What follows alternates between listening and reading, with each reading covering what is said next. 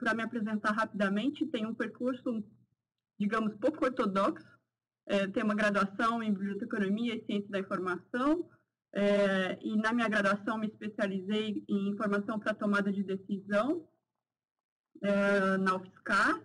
Em seguida, fiz um mestrado em engenharia de produção, trabalhei com é, professores é, e pesquisadores na área de desenvolvimento de produtos, então, é, mais especialmente na criação de comunidades de prática e algumas pesquisas em gestão do conhecimento, isso no início dos anos 2000. Em seguida, me mudei para o Canadá, então estou no Canadá há quase 12 anos já, e aqui, então, fiz meu doutorado na Université Laval em sistemas de informação. Então, um caminho que não é tão ortodoxo, mas que me permitiu uh, ver as interfaces da, da, gestão da informação por diferentes áreas da, da pesquisa. Antes de continuar, eu vou pedir uma desculpa já antecipada, que talvez alguns momentos eu faça alguma tradução literal do francês para o português, porque não tenho costume de falar em português de trabalho, então é, há muitos anos que não faço uma apresentação em português sobre pesquisa ou alguma coisa relacionada a sistemas de informação. Então, é, é, antecipadamente, peço a compreensão de vocês. Atualmente sou professora no, no Departamento de Sistemas de Informação da Universidade de Sherbrooke. É, no, nós vamos falar um pouquinho da área, como que funciona o sistema de informação aqui no Canadá, mas uh, uh, aqui na minha faculdade, sistemas de informação é uma concentração uh, dentro da graduação em administração. Então, hoje, bom, rapidamente, só fazer essa pequena introdução, falar da, da disciplina de sistemas de informação, o que o, as publicações nos dizem nos últimos anos, é uma uma visão muito, muito superficial, é, falar um pouquinho da visão de futuro, de interesses em colaboração, e eu vou dar o exemplo do meu grupo de pesquisa, e falar de oportunidades de colaboração e financiamento de, de, de colaboração em pesquisa e ensino entre Canadá e Brasil, principalmente. E depois tem algumas questões é, para a gente discutir e é, continuar essa discussão, quem sabe, num próximo evento. Bom, então, o, a motivação dessa, de, desse encontro com vocês, como o Alexandre iniciou uh, essa, essa, na apresentação, é realmente o meu objetivo foi contactar pessoas que eu conheço na área e falar assim, olha, existem possibilidades da gente colaborar. É, vocês têm alunos interessados, vocês mesmos estão interessados, e eu falei rapidamente de alguns temas que me interessavam, e, enfim, o, o resultado foi muito interessante, porque recebi nada menos de que 30 contatos do Brasil, então o que eu pude perceber é que as temáticas nas quais eu tenho trabalhado é, interessam a, a pesquisadores e estudantes brasileiros, e, então, pensei, por que não falar dessa colaboração e dessa possibilidade de aprendizado que pode ser é, interessante é, nas nossas, na nossa área. Então, o objetivo é realmente de levantar questões sobre a pesquisa e o ensino em sistemas de informação. Vou falar um pouquinho daqui e, quem sabe, é, aprender um pouco com vocês na discussão sobre como funciona é, aí no Brasil, se a gente tiver tempo, porque eu sei que o nosso tempo está curto. E então, falar de, de possibilidades de colaboração. Quanto à pesquisa né, na, na, disciplina de sistemas de informação, eu, eu, me baseei realmente numa publicação que saiu em 2010, um estudo super interessante que foi publicado em francês. É, então, já talvez a língua seja uma barreira, não sei é, quantas pessoas no Brasil são capazes de acompanhar uma, um trabalho em francês, mas, ou que acompanham né, na, digamos, na, na essa literatura, mas um estudo que falava um pouco da evolução da pesquisa em sistemas de informação e é, esse artigo fala de cinco períodos principais. Então, fala de um período até os anos 80, o início dos anos 80, onde os estudos eram hum, quase nada empíricos ou não empíricos, eles eram principalmente conceituais ou extremamente técnicos, é, então, é, realmente, um outro, uma outra abordagem do que a gente vê hoje. No período seguinte, entre 80 e 85, é, é, a, a, os autores falam de um período de construção de teorias, então, um período de teorização.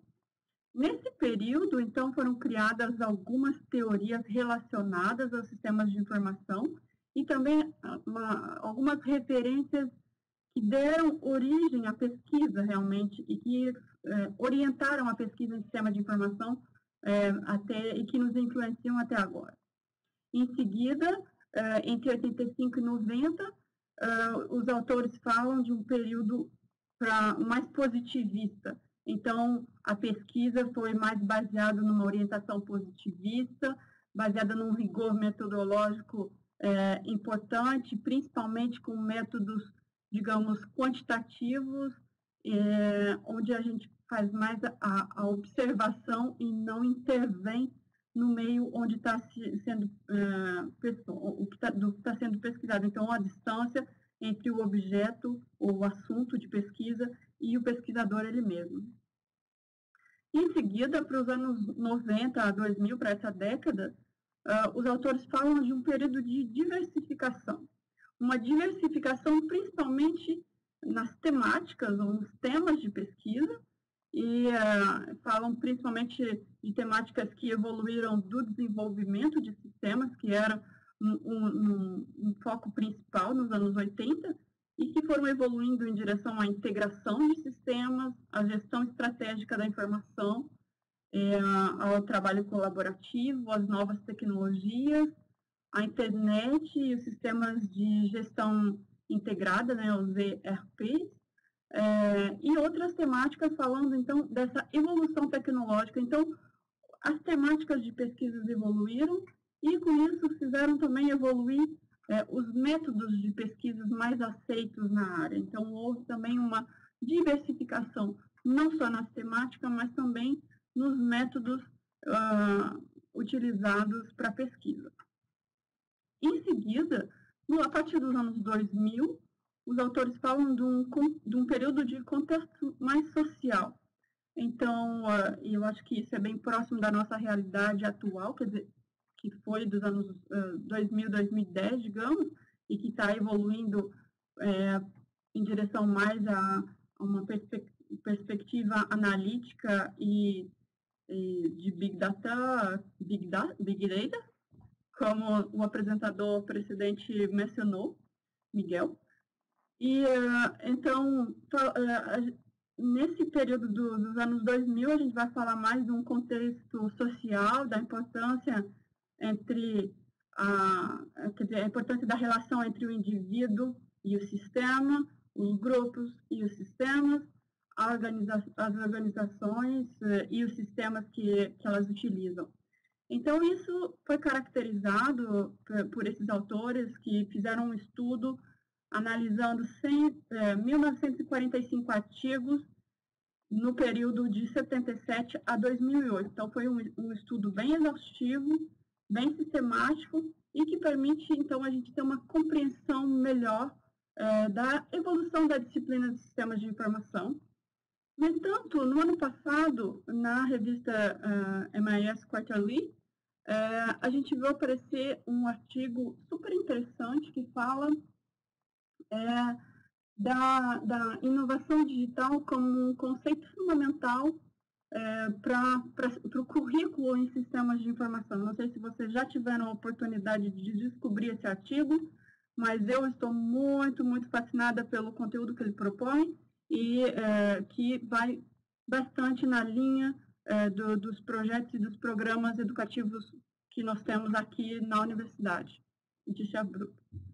É, nesse artigo do MIS Quarterly, é, os autores falam, então, da, da, da importância da, de se considerar a inovação tecnológica e digital uh, no contexto dos negócios e, e, então ele propõe uma orientação tanto da pesquisa quanto do ensino que a gente vai ver no próximo slide baseado em, nos, no, nas fases da inovação e que vão nos permitir de cobrir as diferentes temáticas para a evolução das organizações e inovação, tanto em pesquisa como em ensino. Então, nesse, nesse slide a gente pode ver a figura, eu peço desculpas porque é realmente a figura do artigo, eu não está traduzida, mas ela apresenta, então a gente pode ver uh, uh, uh, o ciclo de eh, desenvolvimento de produtos e de inovação e as diferentes é, tecnologias e temáticas que podem é, ser interessantes de serem estudadas e consideradas no, no, no âmbito organizacional e no contexto do, do, dos negócios, é, com o objetivo de ajudar as organizações a evoluírem, a inovarem e a continuarem competitivas. E aqui também uma outra figura do mesmo artigo, que fala então da inovação digital e a influência no ensino. Mais uma vez, as quatro etapas de descoberta, de desenvolvimento, de difusão e de impacto né, que ele menciona é, falando da inovação e as diferentes é, etapas, as diferentes temáticas da formação que a gente deveria, ou que ele propõe no caso, é, para a formação dos alunos, então, para a estruturação, estruturação, não tenho certeza se a palavra existe, mas talvez, estruturação do currículo em sistemas de informação. Então, é, baseado nessa, nessas é, referências, de com vocês discutir e falar de uma visão de futuro. A gente pode continuar pensando nos negócios é, como eles estão, então no status quo, é, não pensar que, ok, estamos sobrevivendo e as organizações estão bem, ou então vamos pensar de que maneira nós, é, no ambiente acadêmico, podemos contribuir, é, fazer pesquisas que são mais pertinentes ou que são mais relevantes, eu não sei a palavra ideal em português, não lembro mais, ou pertinente ou relevante, é, para o nosso contexto dos negócios. Então, num contexto atual, a gente pensa mais, por exemplo, se a gente fala do contexto da cadeia de suprimentos, a gente vai falar de uma sequência principalmente, onde a gente sai do ponto de partida da, da, da matéria-prima e a gente vai até o consumidor. Então, essa, apesar de muitos pesquisadores né, não terem até hoje integrado essa visão mais sistêmica da cadeia de suprimento nas pesquisas e a consideração que isso leva de refletir mais numa, perspectiva sistêmica a influência é, da cadeia de suprimentos, a gente está evoluindo mais para a figura, digamos, para mim, a figura da direita, onde diferentes pontos se conectam entre si e formam diferentes tipos de cadeia. Então, a gente não é mais uma só sequência da matéria-prima até o consumidor final, mas a gente tem múltiplas cadeias funcionando ao mesmo tempo. Por que estou falando da cadeia de suprimentos nesse contexto de visão do futuro? Porque são nessas cadeias de suprimento que a gente pode imaginar a importância de se gerenciar bem a informação e de pensar de que maneira os sistemas de informação e todas as temáticas que, que nós ensinamos ou pesquisamos deveriam ser apresentados aos nossos alunos para que possam continuar evoluindo no mercado de trabalho e, e, e levarem as organizações também a compreenderem esse ambiente complexo no qual a gente eh, se situa atualmente.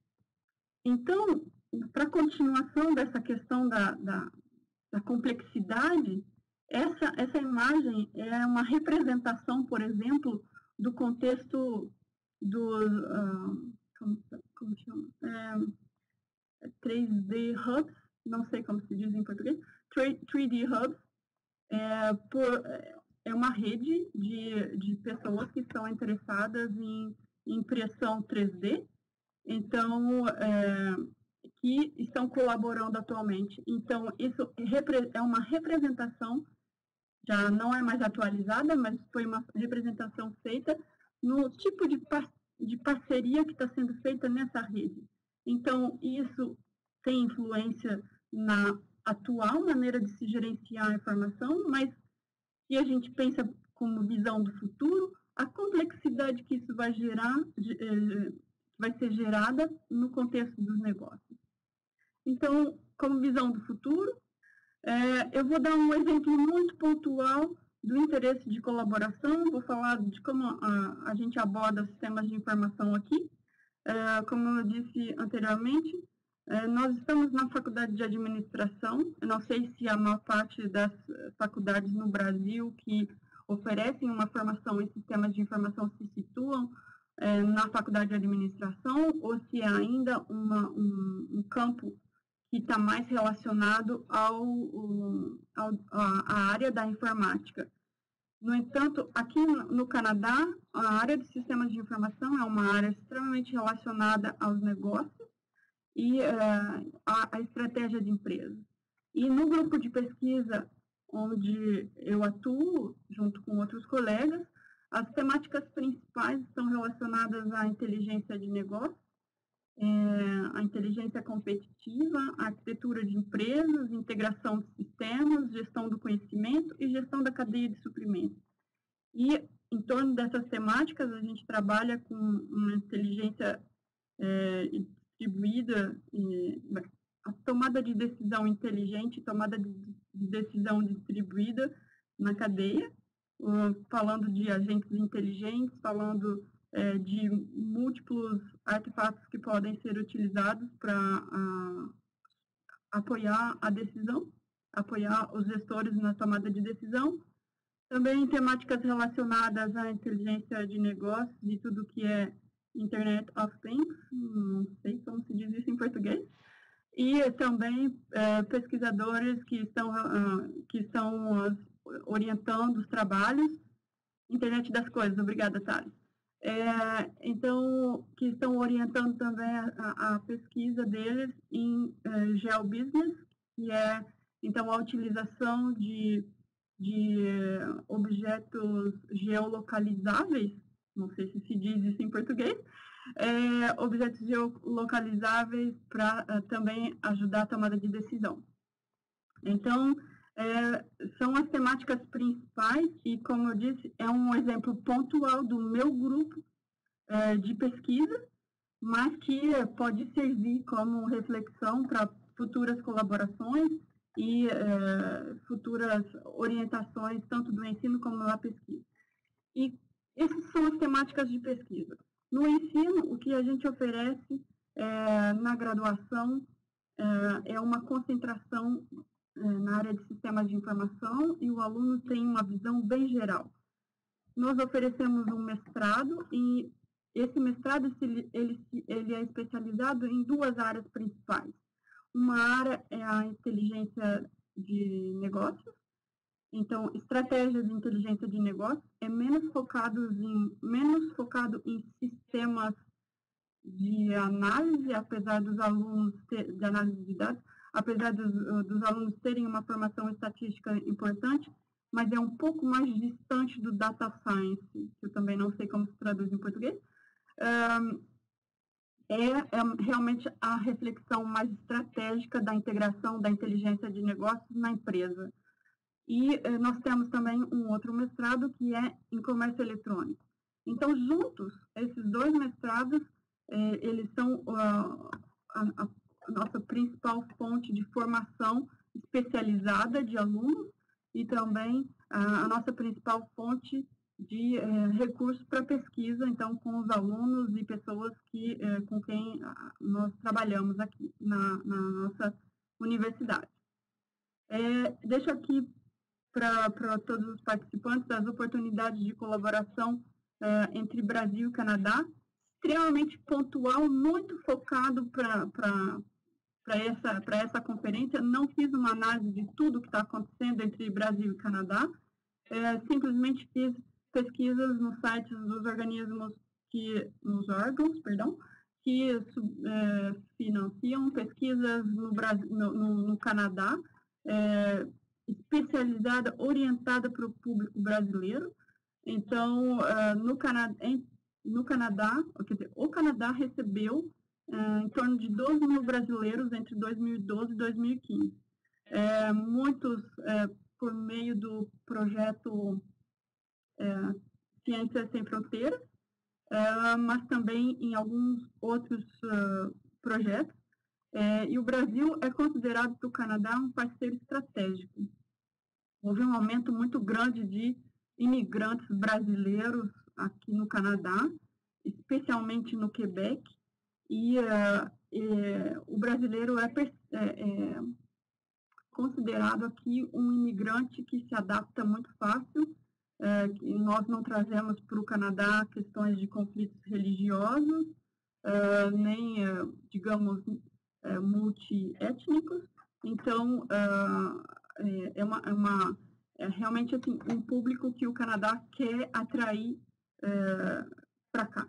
É, e tem muitos investimentos, provavelmente. Alexandre, que é de Curitiba, já deve ter ouvido falar de palestras e conferências é, que o governo quebequense ou canadense é, faz justamente para ir é, no objetivo de recrutar brasileiros que queiram imigrar.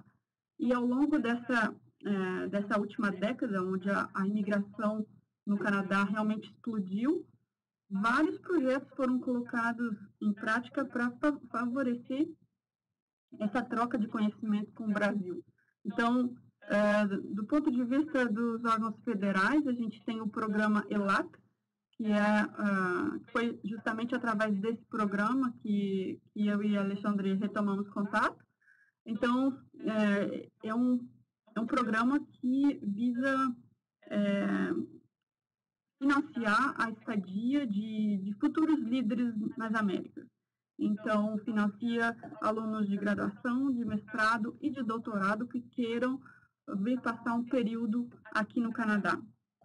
Então, um programa bem interessante, é, que para esse ano, o deadline, apesar de estar no site 30 de abril, nas universidades existe uma pré-seleção. Isso eles não falam no site, mas existe uma pré-seleção nas universidades. Então, esse projeto para esse ano não pode mais, mas ele ele é um projeto que já está acontecendo, um programa, perdão, que já está acontecendo há alguns anos, então existe a possibilidade, se existem interessados, é, para o próximo ano. Existe também o programa FONSER, que é específico para o Estado de São Paulo, porque o, essa, esse programa de colaboração foi assinado com a FAPESP. Então, é, tem alguma, algumas temáticas de pesquisas que são privilegiadas, mas para os pesquisadores uh, do Estado de São Paulo, é realmente um, um, privilégio poder contar com uma subvenção ou um financiamento específico é, na colaboração de algumas temáticas. E existe também o programa da CAPES, que é um programa de, de graduação sanduíche, eu acho que se diz, é, principalmente, mas também é, mestrado e doutorado sanduíche. Então, uh, esse programa, se não me engano, uh, o Brasil fechou as portas do financiamento para esse ano. Então, talvez uh, ele, ele volte para o próximo ano, mas eu sei que houveram alguns cortes. Existe também o programa de Bolsa Vanier para doutorado no Canadá. Esse é um programa de bolsas de excelência que é dado pelo governo canadense é, para brasileiros que queiram vir estudar aqui. A bolsa é super interessante, nada menos do que 50 mil dólares de financiamento e é, não é, imposável, não sei, é livre de imposto. Bom, livre de imposto no, no Canadá. É, então, realmente, é, esse, essas estratégias de financiamento para essas parcerias com, com pesquisadores, é, e estudantes brasileiros, realmente é uma, uma estratégia do governo para é, favorecer essa colaboração, porque eles têm notado realmente uma, uma, uma, uma digamos, resultados frutuosos dessas parcerias. A província de Quebec, que é onde é, eu, eu estou, Perdão, tem um erro no meu slide, provincial, é, província.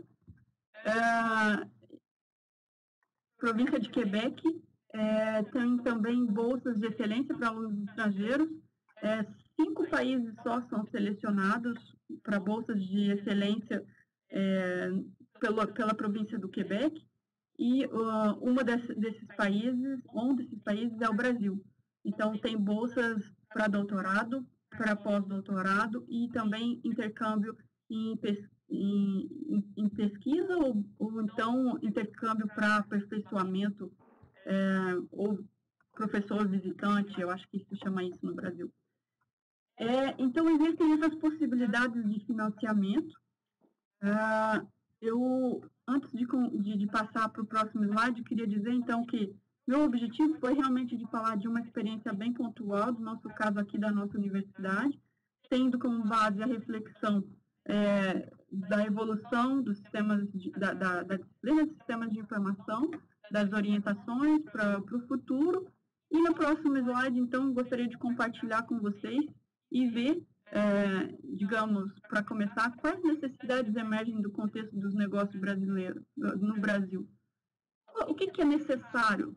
É, porque eu acho que cada vez mais, e como o, os dois apresentadores que falaram de design research, é, de research design, perdão, é, mencionaram, realmente nós precisamos cada vez mais fazer pesquisas que, que sejam relevantes para o nosso uh, contexto dos negócios, que possam ser entendidas, compreendidas, transferidas e absorvidas pelos nossos gestores, pelos nossos dirigentes, é, para que a gente possa continuar inovando nessa perspectiva de inovação digital, o sistema de informação e toda a, o que tá, tudo o que está relacionado, acho que é, essa é uma, uma questão que a gente deve se colocar. Quais, quais necessidades emergem do contexto dos negócios no Brasil? Quais temáticas são relevantes e versus, versus as que são privilegiadas pelos pesquisadores? Então, quais temáticas são relevantes e ou versus essas que são privilegiadas pelos professores na hora de ensinar? Quais competências são buscadas pelos estudantes? Quais competências são necessárias para os futuros profissionais em sistemas de informação? Quais modalidades de colaboração que nós podemos estabelecer?